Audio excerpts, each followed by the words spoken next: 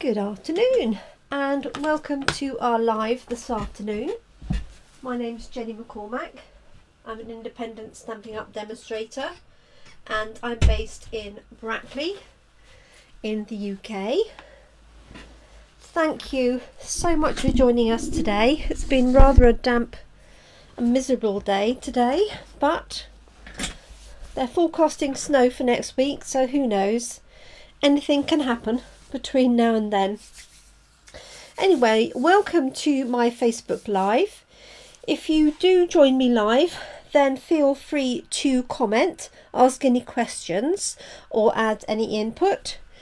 If you're watching on catch up, replay, or YouTube, then feel free to add any comments and I will get back to you with a written response in due course.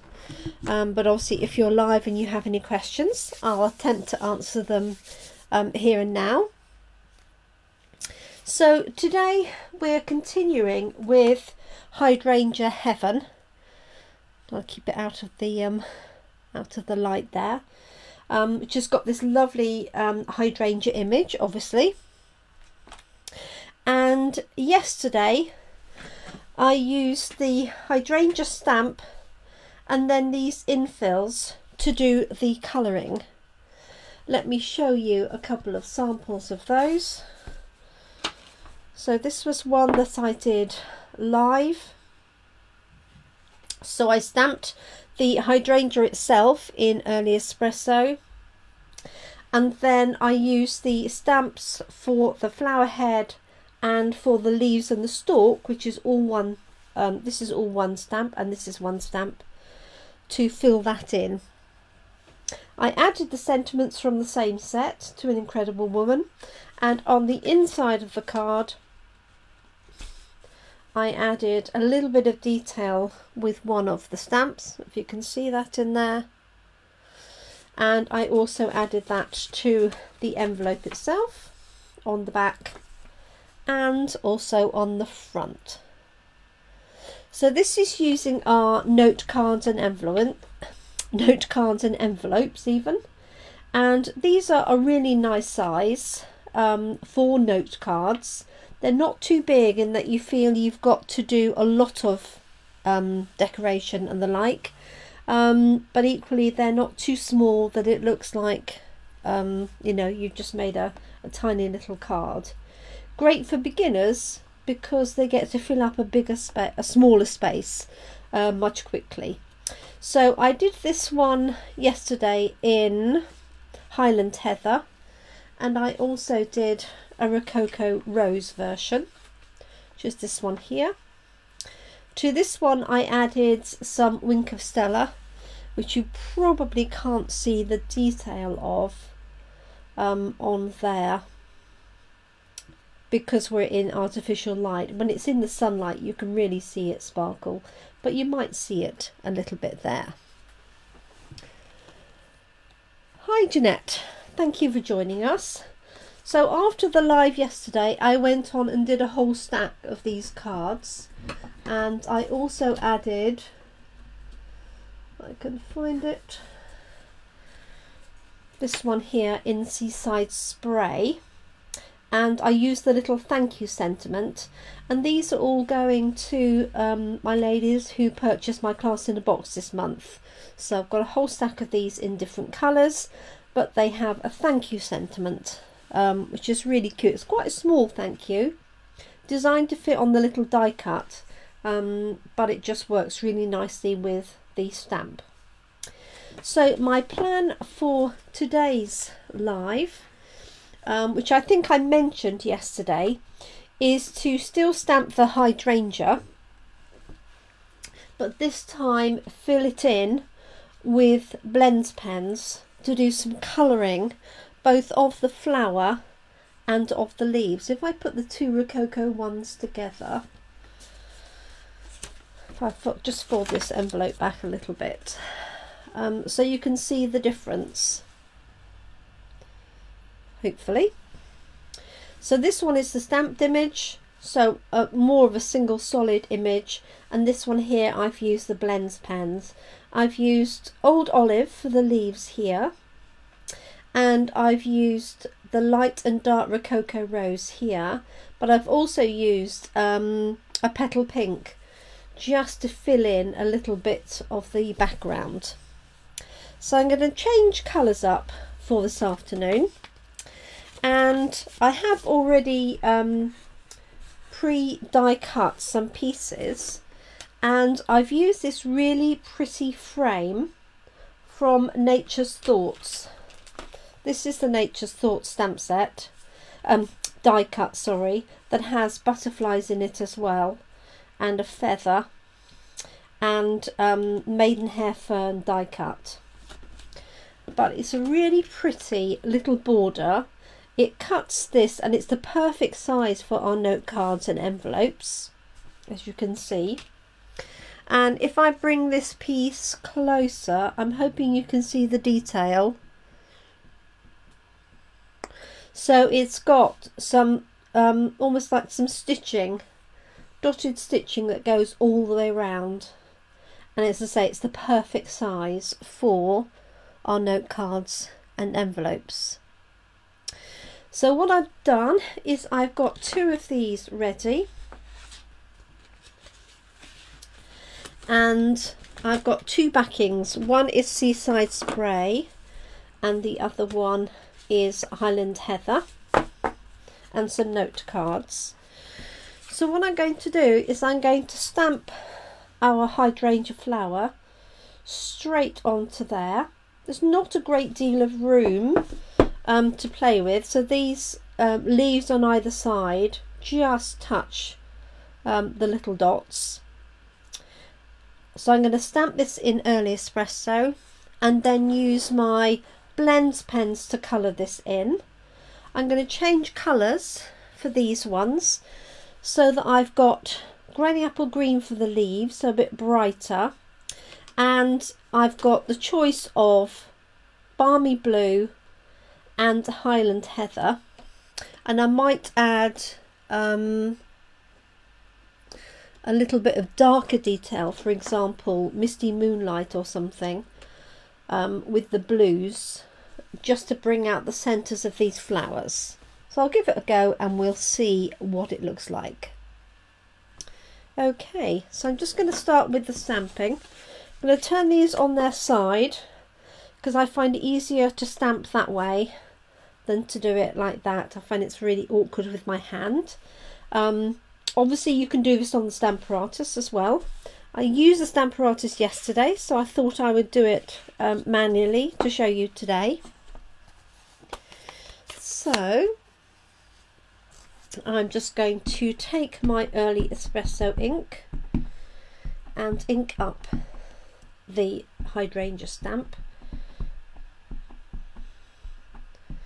It's a nice fine um,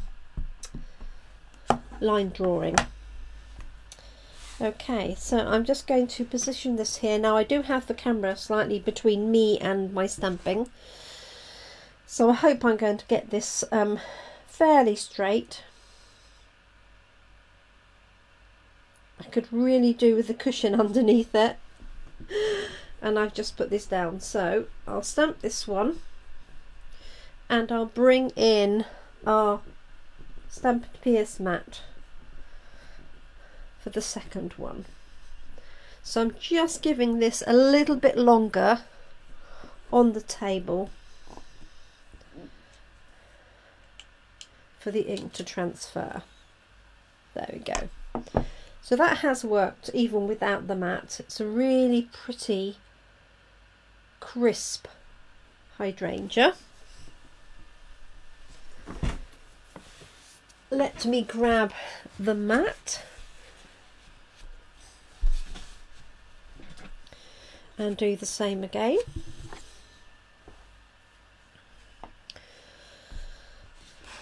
So I'm just going to ink this up.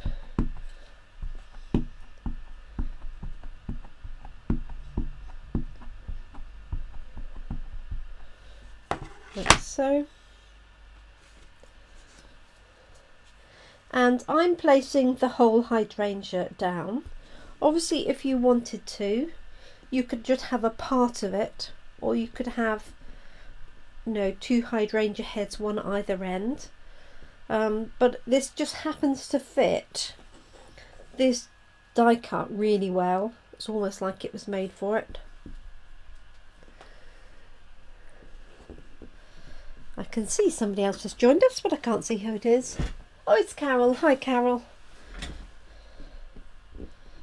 Didn't expect to see you today. Okay so there's my two stamped hydrangeas I'm going to stamp the sentiment while I'm here. So the small sentiments we have so this is with love and we also have for you congrats thank you and I love you. Those are the small sentiments there are some larger ones so I'm going to use the with love again because I just think that's really sweet. And this is the sort of card that I send my mum. And I haven't sent her one for a, a week or two, so this might be going, well, one of these will definitely be going to her. So I'm just going to use a small block for that. And I'm just going to test it out. There we go. So I could put it to the right or to the left really. It wouldn't matter. I do want to get that a bit more central however on my stamp because it's very wonky.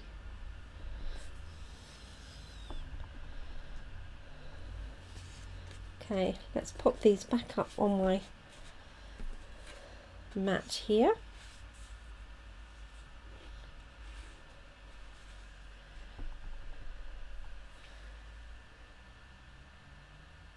And I've got with love there.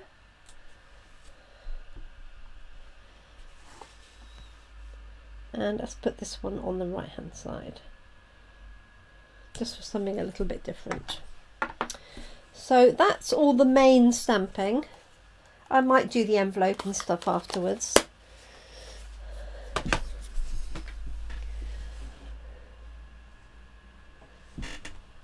Oh, a bit quiet at work. Hmm. Don't say that. That's far too dangerous, isn't it? so let's use Granny Apple Green. So this is the um, finish result I'm looking for. And this one I used Old Olive, light and dark. I'm going to use Granny Apple Green just so I can see um, what a difference that will make. And I'm going to use the dark Granny Apple here in the centre of the leaves where the veins are and also using the lines that the designers have given us helps with the shading. So I'm just going to do these really quickly. So I hope everybody's had a good day. Seems to have gone remarkably quickly. I don't really know why, but it does.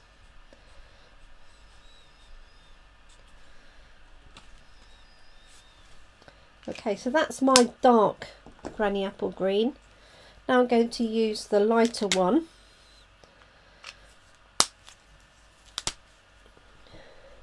Should I do the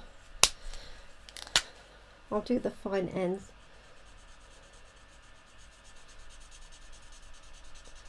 I'm Going to leave a little bit of white space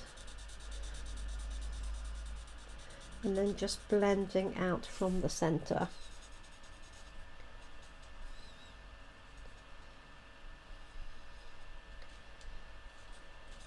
So. Okay, do the same round here. So while I remember, normally my Wednesday morning session is at 10 o'clock. But I have hospital appointment tomorrow. So for tomorrow and the remainder of the week, I'll be here at 5 p.m. So I will put a reminder out in the morning. Um, so if you're sat there waiting at 10, You'll have a long way, I'm afraid. but I will be here, all being well, I'll be here at five. Okay, so just coloured those in, just using a single light line for the stalk, like so. And there'd be nothing to stop you doing a combination of marker pen and stamping for this centerpiece if you didn't want to fill in those um, all of those little petals so I don't know which colour you prefer me to use whether you want me to use the blue or the purples. Let's go with blue. So what I'm going to do is use the dark blue for the centres of the flowers. Like so. Because I want to sort of highlight those. And then I may leave some white space behind. I haven't done in this one. I filled in a little bit um, so let's just have a look and see what it looks like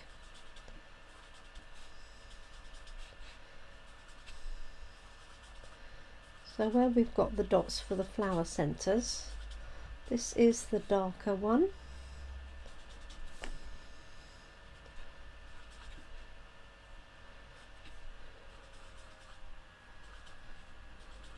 Like so.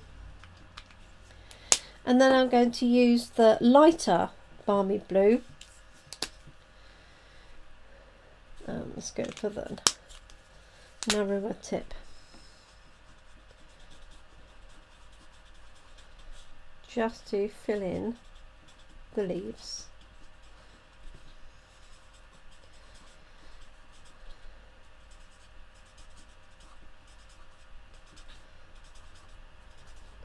Obviously you could just literally use a scribble motion with the larger tip and cover more of that if you wanted to. I want this to go a little bit darker in the centre so I'm going to use, I've got Night of Navy,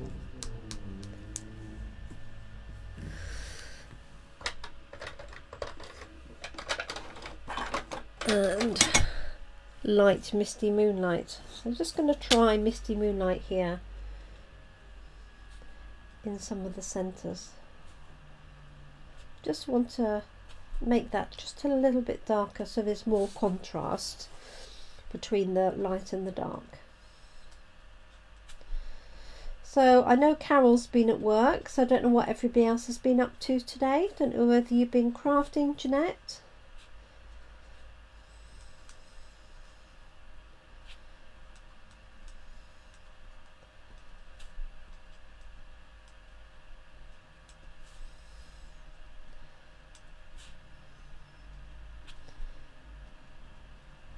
Let's have a look and see what that looks like.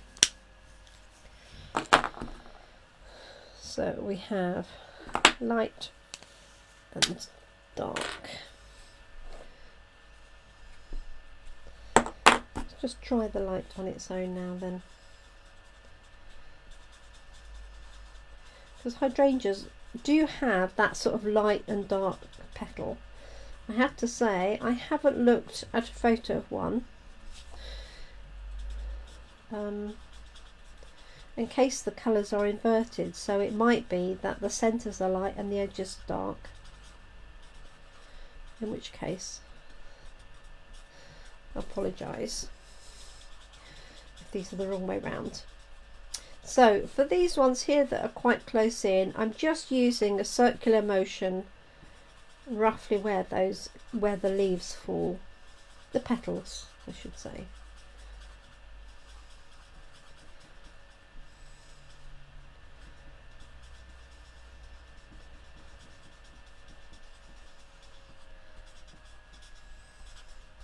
and for this one I'm leaving a little bit of the white space behind. And then you can let me know which one you prefer.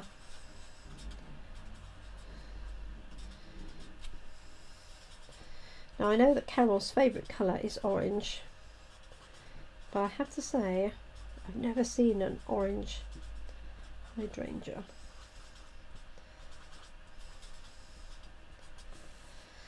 There we go. So that um, blending of colour hopefully really brings that to life.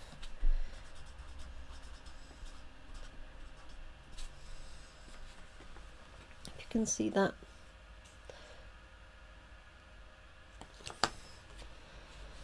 Whereas this is, or this, although this is two colours, I've sort of gone over and left a lot less white space. So as this one has got more white space behind it. Um, so let me know which one you prefer. Do you like the one with white space? Or do you think I should go in and cover it all up? So you could put the odd bits in here if you don't want it too white.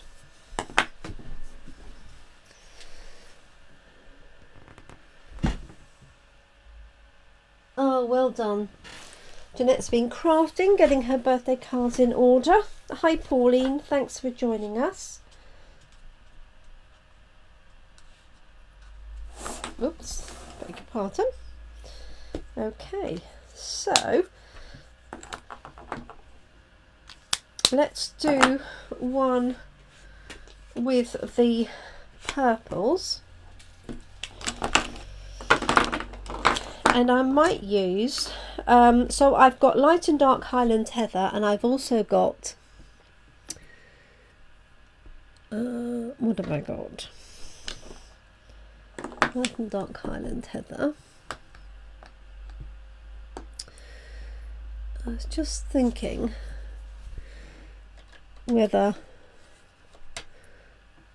black Bliss is probably the wrong um, colour tone for it but I might try purple posy, light purple posy, sort of in in the background area. So let's do a little bit of this first. So this is sort of going more in the gaps this time, where the white space would be, with purple posy.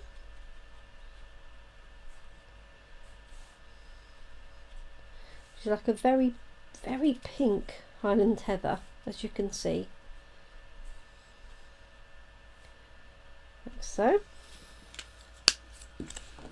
And let's try the dark in the centre again. Like so.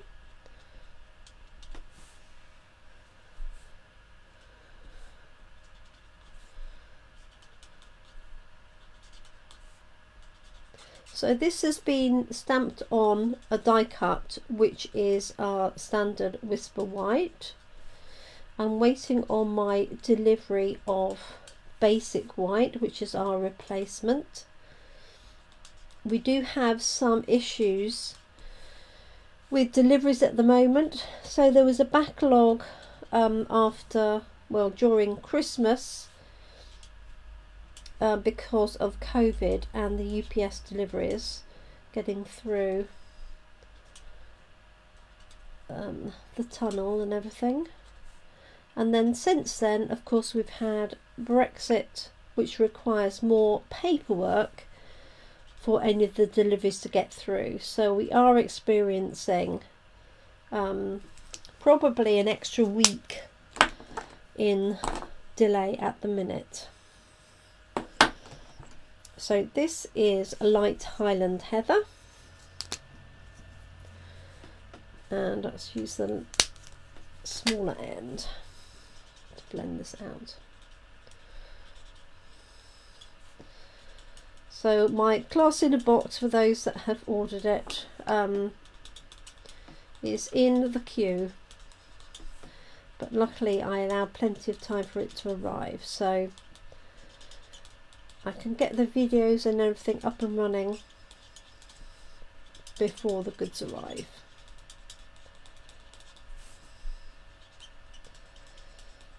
Okay, so it makes a very pleasing sound and that's because it's beginning to lose some of the ink. So this reminds me of the um, really pretty papers that you get with this set. Hydrangea Hill papers. And I could have stamped this obviously in purple as well, but then the leaf stalk would have been in purple.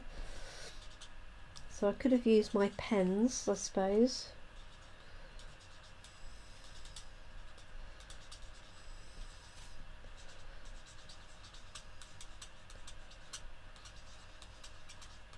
So circular motion.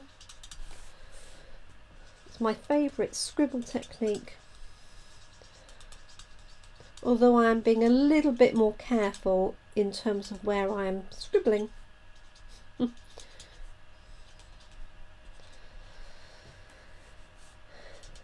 so let me know, do you like it with a bit of white behind or with the colour behind. So this has got more of a colour and this is sort of a halfway house. So let me know what you think. It's this one that's going to my mum because she loves lilac colours lilacs and purples. So I have a stash of stamps on hand. So this one will be going to my mum and she really does love well we all love receiving handmade cards don't we? Especially ones just because you know with no you know not necessarily any particular reason or occasion. There we go. Let me have a look at the comments. Purple for Jeanette every time don't need to see the card.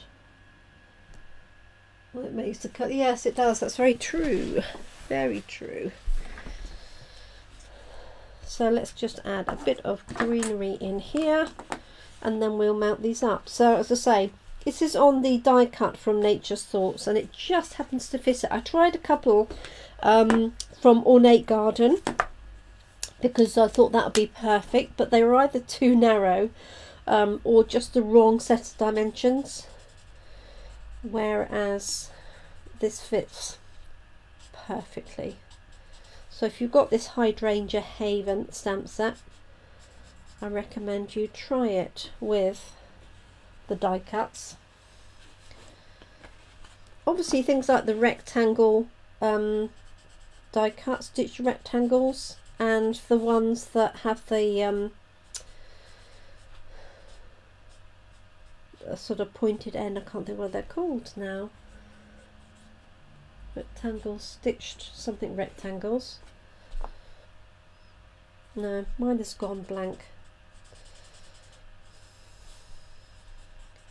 Because they would work as well. Okay, and then finally the light granny apple green.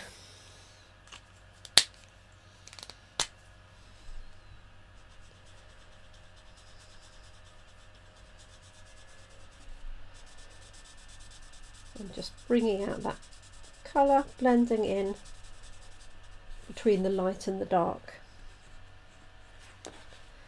And it is quite effective if you can leave some white space. It makes it look more um, watercoloured if you like that effect. You can see around here I've left that little bit around the edge. But it just depends on the effect that you like really like so many of these things. There we go. And the last one here.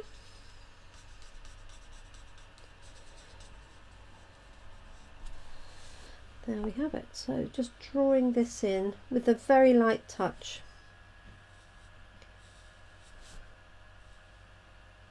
Like that. And taking it from the stalk outwards like that. There we go. So I wonder which colour you prefer. So this is Highland Heather. This is Balmy Blue. and this one is Rococo Rose. So let me know your preferred. I know Jeanette's will be purple right the way through, she said. So here's my um, note card and I've got a seaside spray layer. I could have gone for bashful blue really. So I'm going to layer these up like so.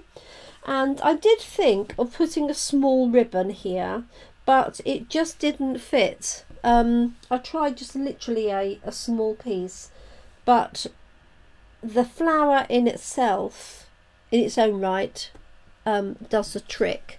Um, if I show you, this wouldn't be the ribbon that I was going to use, but um, it's just, even with a fine ribbon, it just didn't suit it.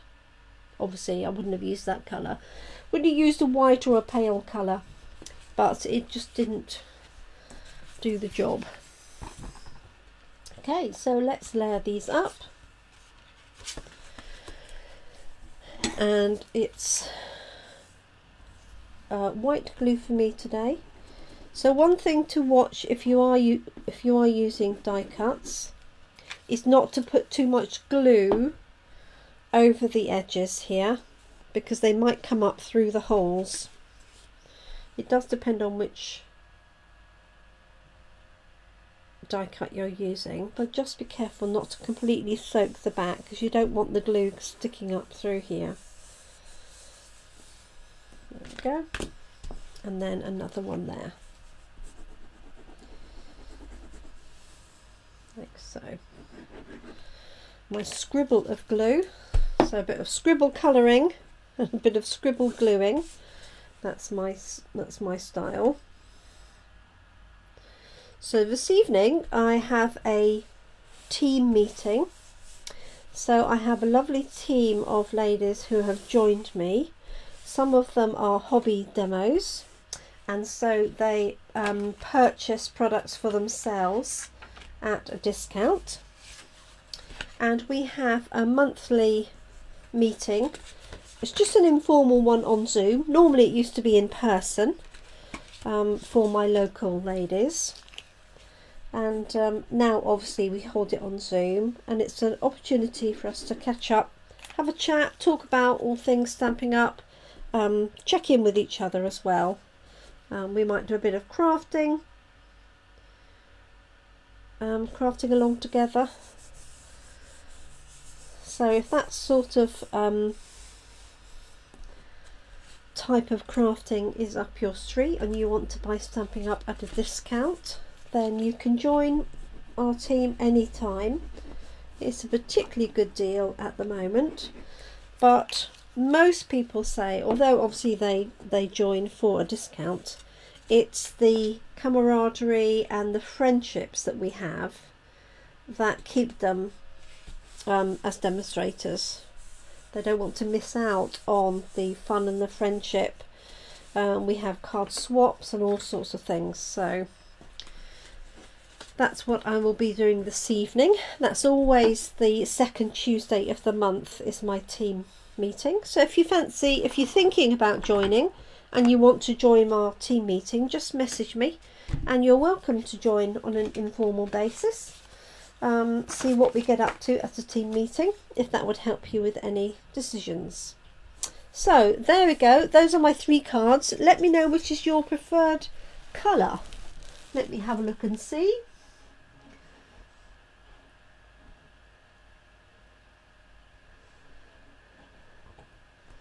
So, um, well, yes, just Jeanette in purple. Nobody else has commented on their favourite colours. But that's okay. I'll let you off for today. Um, so I could add the uh, little stamp in the corner or even the top end of that um, hydrangea. Let's just try that and see. I just thinking could just put put that maybe there at an angle. Let us try that. Just so it's something different to the ones we did yesterday where I used the other stamp. So I'm looking across my desk for my espresso ink.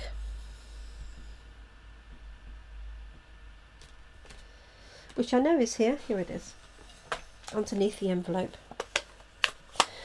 So because this is in the, inside of the card, I don't want to colour this in because the blends pen ink will go through to the back of the card. Not that it really matters, I guess, but I like the back to look nice. So what I'm going to do is pop that one on there.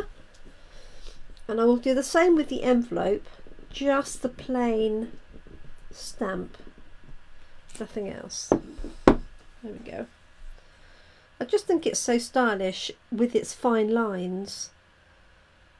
If I was any good at drawing, I would give that a go. Let's do the same for these. And the same for the envelopes, I think. And that's us done for today.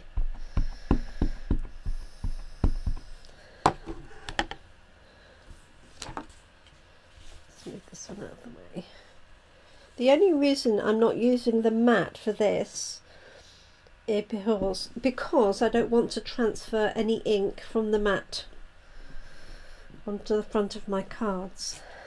There we go that one there and let's do the envelopes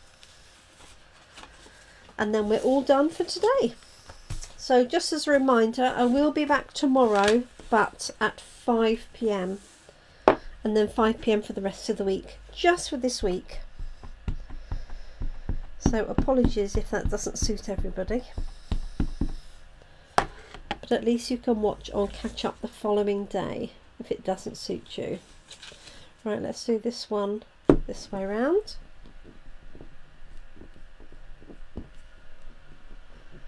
Like so. And the same with this one.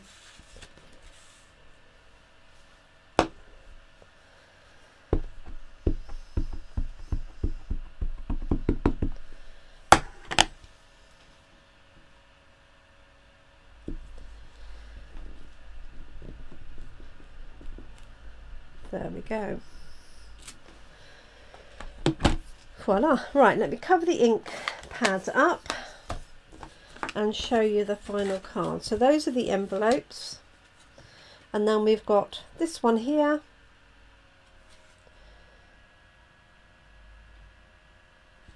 With the inside. This one here. This is Balmy Blue. The background is Seaside Spray. And then the plain one inside. And then this one here, just take the post-it note out from here. So this is Rococo Rose. And I did this in exactly the same way, but I just coloured this all in as opposed to leaving the little white space. So it just looks perhaps a little bit not more natural, I don't know. It's difficult to say. Do let me know which you like the best. Um, I've used the same sentiment right the way through, and that is the with love. So, thank you very much for joining me today. Um, I hope you have a nice evening if you're in the UK and have been watching um, live. And I look forward to catching out with you, catching up with you tomorrow. Thank you, Carol, Jeanette, and Pauline for joining me this afternoon. And I look forward to um, crafting with you tomorrow. Thank you so much for watching me today. Have a good evening. Look after yourselves and your loved ones. Please take care. Stay safe and hope you can keep crafting. Thank you so much. Goodbye and good night.